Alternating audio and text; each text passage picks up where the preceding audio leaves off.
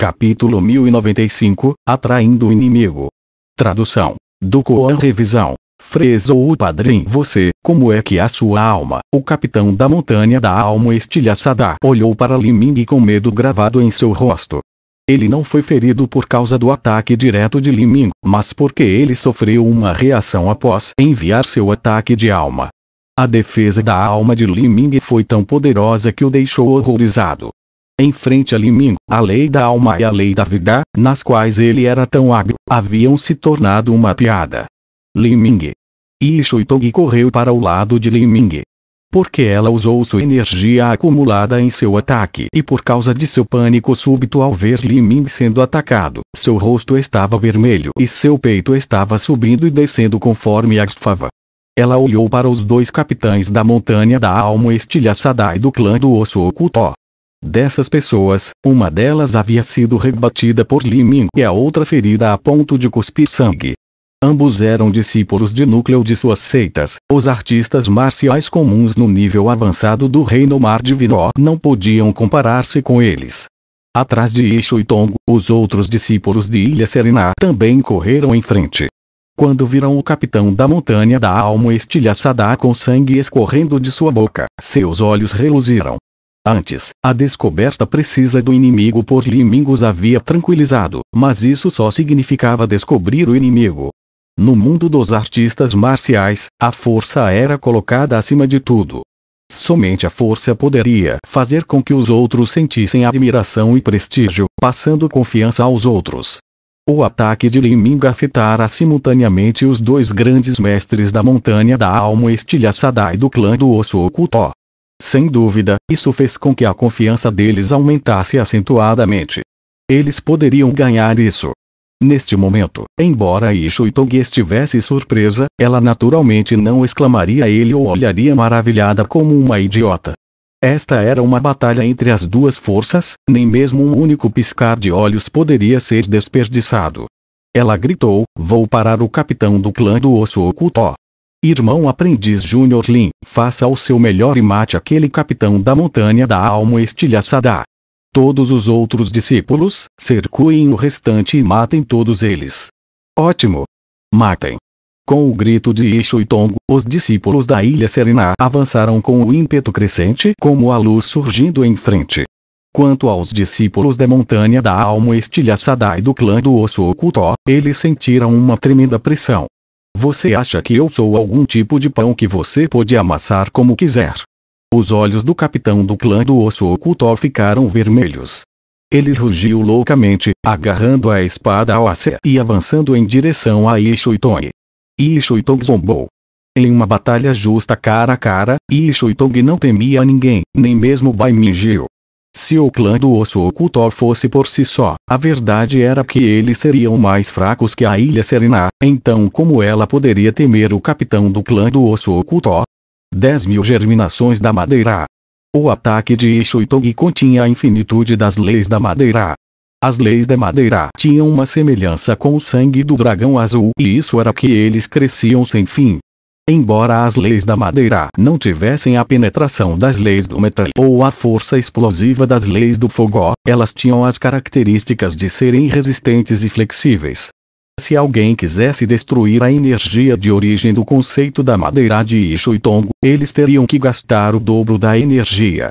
Ping. A energia do atributo madeira da espada de Ishu Tongo colidiu com a energia da espada óssea do capitão do clã do osso oculto, causando a destruição de ambas. Os dois continuaram logo após a energia de suas espadas. Seus corpos se movimentavam e ficavam turvos, cada um deles trocando ataques em uma rápida sucessão. E do outro lado, os discípulos de Ilha Serena estavam lutando com os discípulos da montanha da alma estilhaçada e do clã do osso oculto. A Ilha Serena tinha apenas mais uma dúzia de pessoas e a montanha da alma estilhaçada e o clã do osso oculto tinham mais de 20 pessoas. No entanto, os discípulos da montanha da alma estilhaçada e do clã do osso oculto tinham sido todos feridos e ainda estavam atordoados com a mudança repentina no evento. Em particular, depois de ver Li Ming repelir os dois mestres de suas seitas e também ferir um deles, este foi um grande golpe em sua moral. Os dois discípulos mais fortes do seu lado tinham sido repelidos por Li Ming. Esta batalha ainda poderia ser vencida. Essa ideia inevitavelmente apareceu nas mentes dos discípulos da montanha da alma estilhaçada e do clã do osso oculto. Com a súbita mudança, a luta repentinamente se tornou unilateral. Os discípulos da montanha da alma estilhaçada e do clã do osso oculto foram continuamente forçados a recuar repetidamente. Em apenas alguns tempos de respiração, dois discípulos no nível inicial do reino mar divino gravemente feridos repentinamente tiveram suas cabeças cortadas, seu sangue espirrando no chão. Droga! O capitão da montanha da alma estilhaçada estava confuso. O acordo original tinha sido que sua pequena equipe atacaria assim que a tempestade de areia parasse e então a equipe principal atacaria as forças principais da Ilha Serena, meia hora depois. Eles deveriam correr de volta e ajudar o time principal e prender a Ilha Serena em um ataque em pinça. Mas agora, esqueça de voltar correndo em meia hora, já era incerto se eles poderiam sobreviver ou não. Ele não tinha mais tempo para pensar e nem sequer teve tempo de enviar um talismã de transmissão de som. A lança de sangue da Fênix de Liming avançou novamente, migrando seus pontos vitais todas as vezes. Através dessa breve colisão, Li Ming pôde confirmar que, embora o capitão da montanha da alma estilhaçada fosse um mestre no nível avançado do reino mar divino, ele ainda era um nível mais fraco do que o primeiro dragão no nível intermediário do reino mar divino. Essa pessoa seria um grande talento se fosse colocada na montanha da alma estilhaçada, mas diante de um gênio como Li Ming, ele não passava de alguém comum. Depois que Limingo absorveu a medula do osso de dragão e o osso de dragão, ele poderia quase um acertar para o primeiro dragão. Matar o capitão da montanha da alma estilhaçada não era um problema. Ping. A garra demoníaca que o capitão da montanha da alma estilhaçada enviou foi rasgada ao meio pela lança de Liming. Alarmado, o capitão mordeu a língua e cuspiu a sua essência sanguínea no estandarte fantasmagórico. Depois que o estandarte fantasmagórico absorveu essa essência sanguínea, os fantasmas contidos dentro dele começaram a uivar com sede de sangue. Este estandarte fantasmagórico era um artefato santo de grau superior foi forjado pela montanha da alma estilhaçada, matando 100 milhões de mortais e refinando suas almas. Agora que o capitão da montanha da alma estilhaçada usou sua própria essência sanguínea para coordenar esses fantasmas, o poder máximo do estandarte fantasmagórico pôde ser exibido. 100 milhões de fantasmas dispararam a partir dele. Ha! A luz da lança de Liming foi engolida por esses fantasmas medonhos. Os fantasmas continuaram avançando na direção de Liming. MM. Liming ficou surpreso. Um discípulo no nível avançado do reino mar divino de uma grande seita realmente não podia ser subestimado. Eles tinham vários trunfos ocultos à disposição.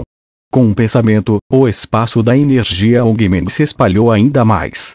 Com o apoio do sangue da medula do osso de dragão e sua própria base sólida, uma vez que o espaço da energia Ongmen fosse usado, até alguém muito mais forte que Liming não seria capaz de passar por ele.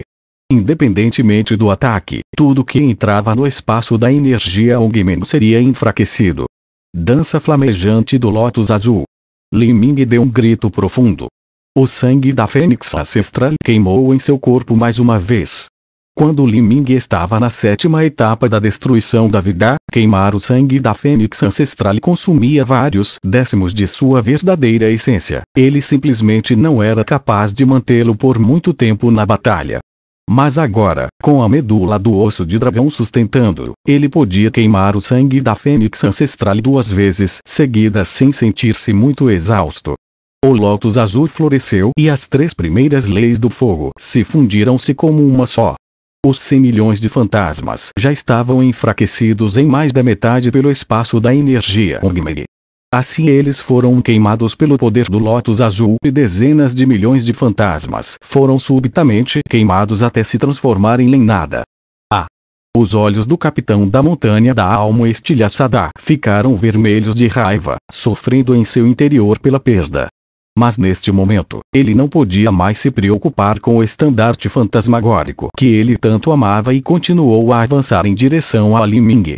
Afinal, havia muitas almas presas dentro do estandarte fantasmagórico. Mesmo que Liming usasse o espaço da energia Ongmeng e a dança flamejante do Lotus Azul juntos, ele ainda era incapaz de bloquear tudo. Sempre existiriam peixes que evitavam a rede. Ping. Cem mil espíritos lamoriosos mergulharam no corpo de Liming.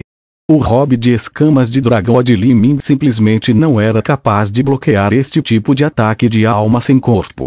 Os uivos estridentes de incontáveis fantasmas começaram a gritar nos ouvidos de Liming. E sob tal ataque, Liming pareceu desacelerar. Seu rosto ficou nublado e seus olhos escureceram, como se sua visão estivesse perdendo o brilho. Eu peguei ele. Os olhos do capitão da montanha da alma estilhaçada se iluminaram.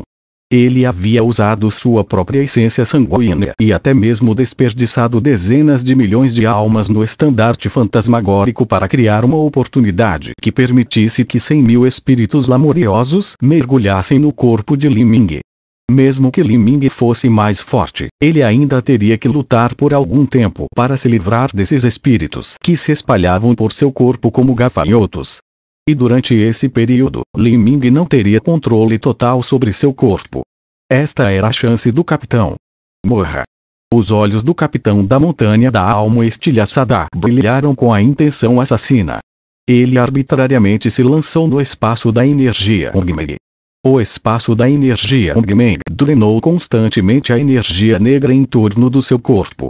No entanto, o capitão da montanha da alma estilhaçada apostou tudo neste único ataque. Ele esmagou com o estandarte fantasmagórico em direção à cabeça de Liming. Vitória! O coração do capitão da montanha da alma estilhaçada disparou. Assim que o estandarte fantasmagórico estava prestes a se chocar contra a testa de Liming, Liming repentinamente zombou. Seus olhos originalmente sem luz de repente se recuperaram, brilhando com uma luz reluzente. Para Li Ming, um ataque da alma não era mais do que uma piada. Sem mencionar seu espírito de batalha da energia Ongmen e a intenção marcial Sansara, mas apenas a proteção do cubo mágico o tornava imune a todos os ataques de almas que tentariam tomar seu corpo. A única razão pela qual ele havia fingido ser afetado pelo ataque naquele momento era para atrair o capitão da montanha da alma estilhaçada para o espaço da energia Ongmeng e depois derrubá-lo em um único ataque. Caso contrário, se um gênio no nível avançado do reino mar divino utilizasse tudo o que tinha para escapar, seria um pouco problemático capturá-lo. O que? Quando o capitão da montanha da alma estilhaçada viu a súbita mudança de aura de Li Ming, ele ficou horrorizado. Ele era extremamente cuidadoso. Ele sabia que se ele entrasse no estranho espaço de domínio que rodeava Li Ming, sua própria força de combate enfraqueceria muito. Mesmo assim, enfrentando Li Ming, ele não teve escolha senão arriscar desesperadamente tudo neste ataque e acabar com ele. Embora ele tivesse atacado, ele ainda possuía um pouco da sua força. Agora que ele viu a armadilha que Li Ming tinha feito para ele, ele imediatamente recuou. Tarde demais. Li Ming zumbou friamente. Ele empurrou sua lança e 999 pequenas lanças de sangue formaram um poderoso tornado que uivou em sua direção. Este pirralho astuto, Nesse instante de tempo, o capitão da montanha da alma estilhaçada nem teve tempo de queimar sua essência sanguínea. Ele torceu vigorosamente seu corpo para evitar a lança de sangue da feniche de Li Ming. Mas quando ele estava mudando de direção, de repente ele sentiu como se camadas sobre camadas de redes tivessem descendo sobre seu corpo, segurando-o firmemente no lugar. Isto é ponto. O capitão da montanha da alma estilhaçada ficou chocado. Isso é um mundo de projeção de vontade, uma rede formada por um espírito de batalha de nível ouro? Tudo aconteceu muito depressa. O capitão da montanha da alma estilhaçada nem sequer teve tempo para pensar em como um espírito de batalha de nível ouro aparecera de repente, capaz de amarrar seus movimentos. Seu reflexo automático foi criar uma erupção de energia para romper os grilhões dessa rede, mas nesse instante de tempo, a lança de sangue da Feniche de Liming já perfurara sua verdadeira essência protetora e estava empurrando-a em direção ao peito. Ele não podia bloquear isso. Ah! Com um grito miserável, o capitão da montanha da alma estilhaçada esmagou seu estandarte fantasmagórico na borda da lança de sangue da Fênix. O estandarte fantasmagórico não era uma arma destinada a engajar-se diretamente nas lutas com o inimigo. Pelo contrário, era uma arma que foi refinada com almas e confiava nesses fantasmas para atacar. Não era uma arma feita de metal divino, mas sim da madeira de um pessegueiro de 10 mil anos e seda fantasmagórica. Uma grande parte dos 100 milhões de fantasmas no estandarte fantasmagórico haviam morrido e antes que ele tivesse tempo de recuperar seu poder, seu estandarte fantasmagórico agora tinha que colidir com a arma conhecida como Rei de 100 Soldados, uma lança que foi projetada para o total aniquilação. Os resultados dessa colisão podiam ser imaginados. O artefato santo de grau superior em formato de estandarte fantasmagórico foi diretamente perfurado pela lança de Li Ming. O lança de sangue da Fênix continuou sua velocidade inabalável. E foi estocada na direção do peito do capitão da montanha da alma estilhaçada, fazendo com que o sangue espirrasse por todos os lugares.